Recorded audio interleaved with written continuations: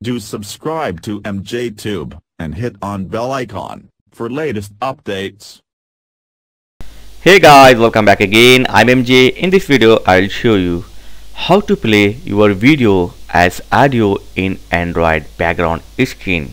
You don't need to do any hard work for this. Everyone use the MX player. This is the most common player for Android user.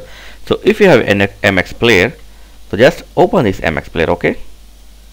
And then choose your media file which you want to play in the background. Okay this that close it.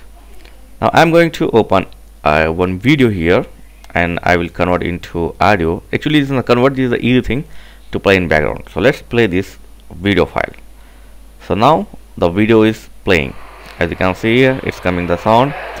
Now if you want to play this in the background just tap on this three icon here three dot. Okay and then tap on play. And I check on background play. Okay check on background play. Okay that's it.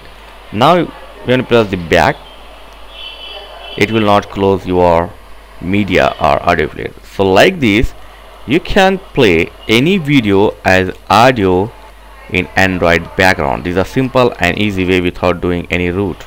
That's it it's very simple if you want to close just tap on this X mark or if you want to watch the video just tap here and it will start the video. Look at that. So a simple thing. So no root is needed to do this. Just install MX player in your Android phone and let's start to play any video as a audio. Because we want to sometime uh, we have the video music player and we don't want to close it while working other thing. So for that time it will very helpful to play your music or any other video file as a audio in android phone. That's it man it's very simple. Thanks for watching. Catch you next video. Please like share and subscribe. Thank you very much guys